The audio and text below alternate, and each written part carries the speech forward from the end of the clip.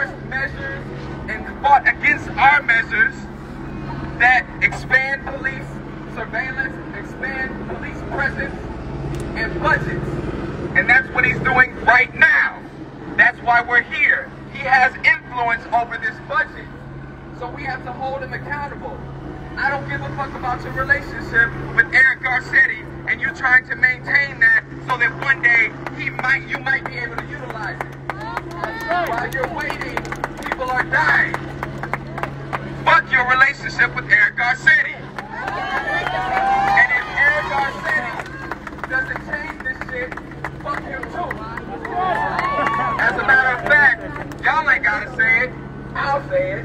Fuck Eric Garcetti. Fuck Eric Garcetti! Fuck Eric Garcetti. Fuck Eric Garcetti! Fuck Eric Garcetti. Fuck Eric Garcetti!